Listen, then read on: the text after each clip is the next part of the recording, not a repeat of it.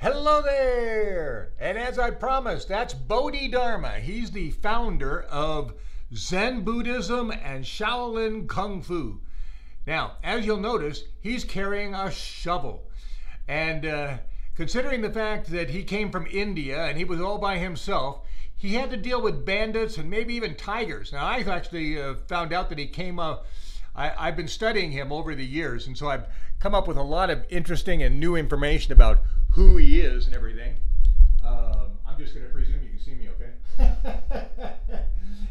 but here I am. This show isn't about me today. I'm going to show you about my past masters.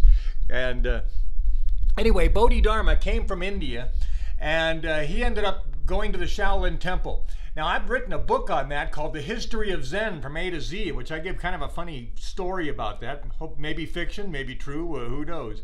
But uh, actually, it's about, anyway, uh, check out my book, History of Zen from A to Z. But anyway, Bodhidharma came to the Shaolin Temple and uh, thought it was a cool place. And then he went and visited the, uh, um, the actual emperor, supposedly.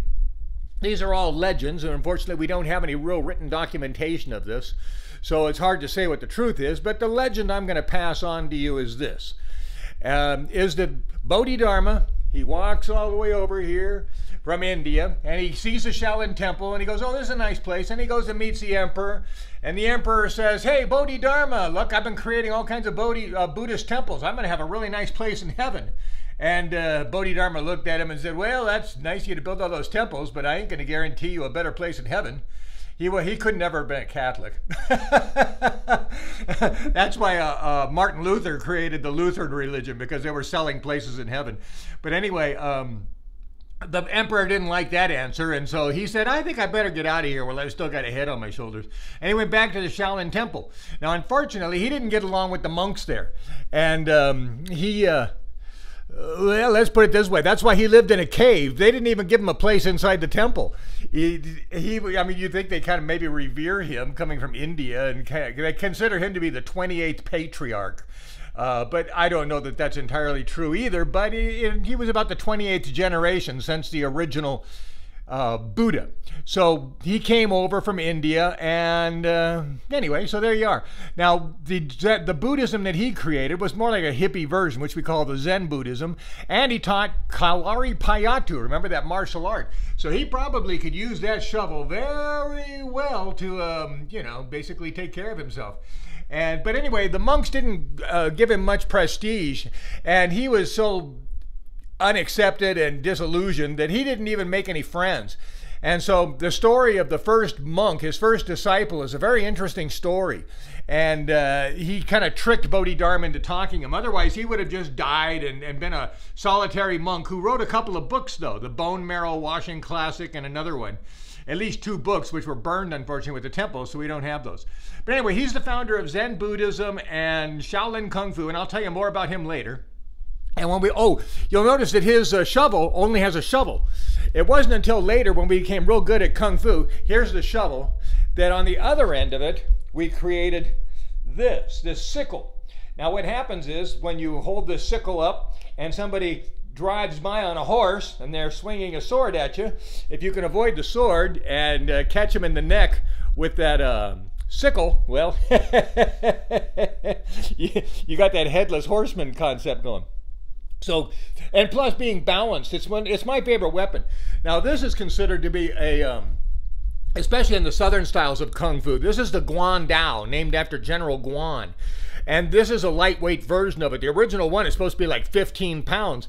And all he would do is basically hang, you know, hold it across his chest, angled down maybe at like a 45 degree angle, and just drive through the troops and lop off people's heads, you know, and, uh, you know, so this is a, a, a, kind of a, yeah, but you, you want it heavy. It's got a weight on the other end of it, so it's kind of balanced a little bit, but most of the weight is on that big heavy end on it. So I've never been a big fan of it. In fact, when one of my kung fu masters. In fact, this guy right up here, um, these are a couple of my masters up here. Uh, this is, the guy on the right there is Rujing Shi or Steve Ba. And he was actually a disciple of um, uh, the guy in Chinatown. Uh, what's that? Oh, gosh, I should have prepared for this better. uh, but anyway, he was he's very famous in the southern styles of kung fu, and he was a black belt from there. But he wanted to learn the northern styles, and so when he came over to our school, he was already a black belt in kung fu, but then he learned our system from this guy. And that's Dr. Cam Yuen, who's famous from the TV series, the Kung Fu TV series. And that's me over here. So that's uh, Ru Jing Shi. He was also my Taoist mentor, and he's a Xing Yi back black belt also. And then Dr. Cam Yuen, who learned praying mantis. So I got my praying mantis from him, and he learned his Shaolin Kung Fu from Wong Jack Man. So when I went up to study under Wong Jack Man, I became his school brother. So, but he's still my older brother, at least. but he's my master from Tai Mantis Federation, and then me. And then this guy right here is the first guy to learn Shaolin Kung Fu who was not a monk. He's uh, that's a, a Kui Chung or Guru Zhang, depending on your dialect. And you can see pictures of him, this skinny guy without a shirt on, and he's breaking a big, huge stack of bricks with one hand, and the bricks are all cracked down the middle, and his hands on the top of them. That's him, and he's the Shaolin guy. And then he supposedly, I guess, he taught Wong Jack Man, and then Wong Jack Man taught me, and uh, Wong Jack Man taught him. But uh, he's my great grandpa. So we look at the, this is a family sense. So if he is my dad and school brother, and also, you know, uh, if if he would have learned directly from, well, actually, because Wong Jack Man did learn supposedly directly from him, that makes him my grandpa. Wong Jack Man's my gra- my dad, and then this guy's my kung fu grandpa. Now, this is another one of my grandpas. This guy taught Cam Yuen directly, the guy in the middle, who's famous, by the way, from he's famous for teaching um, David Carradine and being a technical advisor on the Kung Fu TV show. Okay, now this guy over here was the bodyguard of the South Vietnamese president for the entire Vietnam War, the entire war, as far as I know, for I don't know over a decade or 20 years or some number of years. And he was the personal bodyguard and trained all the guards of the um, uh, South Vietnamese president, and they kept him alive. So that was a big achievement, considering all the people trying to assassinate him. Uh, but he's supposed to be a, such a cool guy. He was quite revered. I got a bunch of stories I can tell you about him.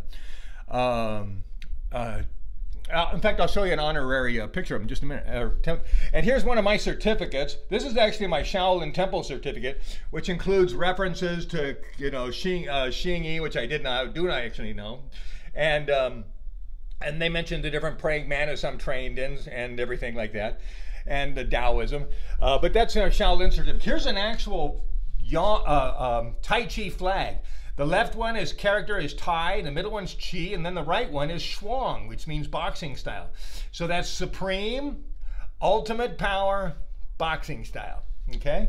And a couple of my sashes. The red one is the one I use for Tai Chi Youth, which has three stripes on it.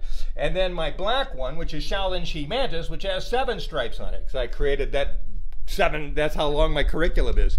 Okay, whole bunch of weapons here. We can come back and look at those in a minute. Um, oh, got to mention this guy up here. This is Buddha, Dad, the original Buddha. Um, and so that's a really cool picture of him. This was given to me as a gift from the uh, Tibetan monks. When they used to visit Salt Lake City um, every year or so, uh, they would always look me up and say, Hey, come hang out with us. So I'd go party with the monks. and they gave me that. They gave me a, a, a sash too of some sort. Um, or a scarf, sash or scarf. I never really used it. Okay, here's my my, my kind of like diploma wall over here. So this one right here is uh, my graduate degree from UCLA Film School. Here's me, my graduation from, um, what's that, junior high? and then my, my being a confirmed Catholic. This is to show that I'm, I'm a genuine Catholic graduate here. Um, I took some Scientology courses. I got a couple of graduates from them. Here's my high school diploma, way down here from Newfoundland. Because remember, I was kicked out of the uh, of America. They didn't appreciate the fact that I was an LSD enthusiast. So they thought I'd be better off if I wasn't part of this country. Now, that guy I told you who was the protector of the um, uh, South Vietnamese president, this is his uh, um, school or system that was named after him. The Tai Chi praying mantis system existed, but he was so famous and they wanted to repopularize it. So they kind of named it after him. And this is the United States. Chiu Chuk Kai is his name. In fact, that picture was made by one of my students from Tai Mantis Federation, um, GD French. And then here's the TV show. And I, I got this picture because the guy on the right is actually Cam Yuen. That's him, my instructor.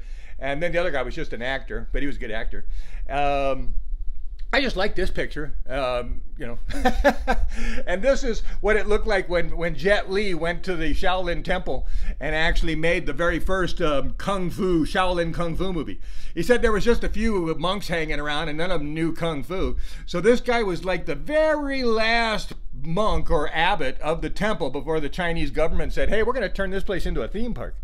Uh, so I consider him to be the kind of like the last real Buddhist to be in the temple, and then everybody after that was hired there uh, was, as a job. And now this guy, um, this is given to me by the Chinese Association, which says kind of like um, very. Um, uh, powerful, unique, uh, advanced hand and foot. Just kind of a, a way to say, wow, what a great Kung Fu master. And it's got my name in Chinese up here. That top character is Zhen and then Shen, and then Long. So that's actually took some time and made that nice, and put my Chinese name there, and then the the uh, thing there. Um, oh, this thing. Oh, here's a here's an award from uh, actually graduating uh, one of the degrees of, of, Freemasonry. I got that. This is my instructor um, sash for um, Buddha Kung Fu, which is actually if I avoid getting that in the cat box, it's just a white sash, and then you add ten stripes to it. There's no colors. Now, I taught you how to join a class, be in one of my classes. Well, when I taught at the park, what I would do is I would hang three different things on the tree. So I would hang this in the center, and this represented the Buddhism, which is kind of the center part of all Shaolin Kung Fu, because it took place at a Buddhist temple. And then I would hang on the side of it um, that Tai Chi Chuan flag I showed you a second ago, and then uh, another um, thing that I got in Chinatown, which was a really cool uh, tapestry scroll of a, of a dragon and a tiger, which kind of represented Shaolin Kung Fu. Uh, now these things are cool. I got a bunch of these, uh, these uh, monk staffs. Oh, this is from being a pipe carrier of the Lakota Sioux. That's my pipe, my medicine pipe, uh, whatever you want to call it, in there. Um, yeah, I, I, yeah, got a lot to say about that actually, but let's leave it at that for now. Um, but yeah, I'm a pipe carrier of the Lakota Sioux. Now this up here is the um, I was talking about this thing. This is a lantern, and those chains you'd put like a little, uh, you know, um, like a cat bowl attached to those things. Put some oil in it with a wick, and then you'd walk around with a lantern, and then you could cover it with some cloth, and it would kind of glow and provide a more even light, and hopefully not catch on fire. And then up here is one of my stabs, which is actually enshrined in one of my sashes. In fact, is this the original? Yeah, this is the, actually, I recognize it. This sash is the first sash that I got and the only sash I got when I joined Tai Mantis. And because my instructor didn't have a belt ranking system, my first sash was a black sash. so when I actually joined as a novice, I'd come from another Kung Fu school, but that had nothing to do with it. They just you know, as my master said, a sash is just to hold your pants up. I had to create the uh, belt ranking system and the colored sashes, which is why they're all different in all my schools because China has traditionally no colored belt ranking system. That's a Japanese thing. Um, these are uh, rope darts, which are like a 15 foot uh, rope if it's untangled there. Now this one has a meteor hammer on the end of it, which is really cool. Um, uh, this is more, which kind of, I, I, well, I, I like them both, but this thing's a little heavier than this one over here, which is the traditional rope dart, which, um, uh, which you can use as more like a project, projectile and you can kind of aim it like a bullet more, whereas the other one's more of a clubbing, but you can aim the other one too. Uh, but that uh, that's about 15 to 18 feet, depending on how big you are. Um, this is an honor. This is an honorary thing. It was given to me at some uh, event that I did because I used to do a lot of Tai Chi events, and I think it means wealth and prosperity. I should probably know that. I think it's basically the same as this one here. And then uh, the other one, uh, of course, is for health and happiness. I think. Uh, my Chinese is terrible. I got up to the fifth grade in about 1994, and I haven't had any Chinese training or language since then. So my my Chinese language is really I can't, I'd rather not talk about that. Okay, so where were we? Okay, so I showed you most of my stuff here. I could go through the weapons, but since I'm noticing on the time here, it's already 14 minutes, I better cut it because that means that uh, TikTok is only going to show the first 10 minutes of this. So I kind of blew it. I was supposed to try to make this TikTok oriented. So anyway, um, I'll give you the rest of this stuff later. Let's get out of here, okay? So, uh, hey, see you later.